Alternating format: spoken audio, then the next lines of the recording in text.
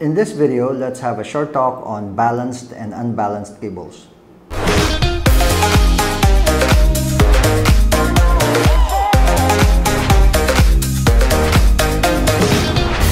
So, yun, balanced and unbalanced. Usually, the assumption is XLR, balanced, PLs, unbalanced. But let's just cover everything. So, XLRs, usually, yan yung mga connectors mo if you want a balanced connection. XLRs, and you have mga PL na TRS, na tip ring sleeve. Then, on the other side naman, you have unbalanced cables, which are, let's say, RC, RCAs. Yan, automatically, unbalanced na yan.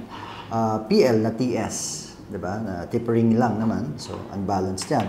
Uh, so forth and so on. So, we do know um, kung anong connectors are used for uh, uh, certain things. Um, pero yun, marami nalilito dyan. Parang the assumption, hindi naman pwedeng assumption mo. If you had, like ito, microphone cable, XLR to XLR, you would assume na balanced cable yan. Meaning, yung, yung shield na connect sa uh, pin 1, tapos yung positive sa pin 2 and the negative sa pin 3. So that's the standard pinning of, of microphone cables.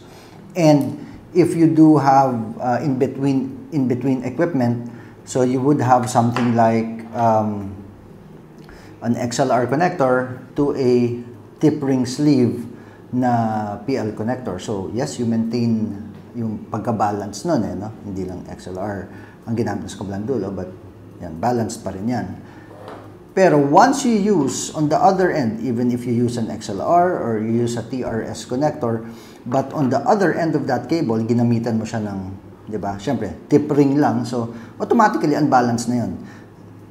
This would make, you know, if you had a connector na maganyan, eh, unbalanced na yan. Eh. So, that would essentially be unbalanced already. Wala na yung tip sleeve na yan. So, when you connect it, that's an unbalanced connection.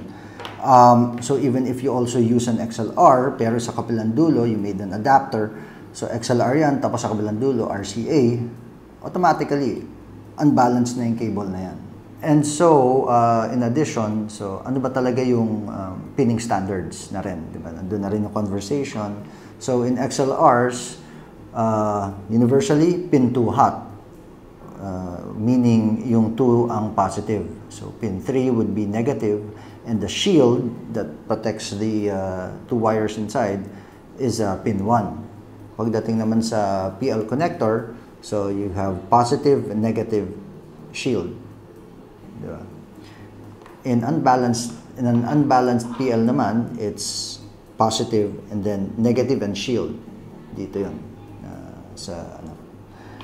Um, we so depending on on how you make it, how you make your cables, uh, always be sure. But if you're not the one who made the cables, it doesn't help. Uh, it would help naman kung you know minsan silipin niyo lang. When in doubt, buksan niyo lang and you will see naman uh, yung um, how the cable was made.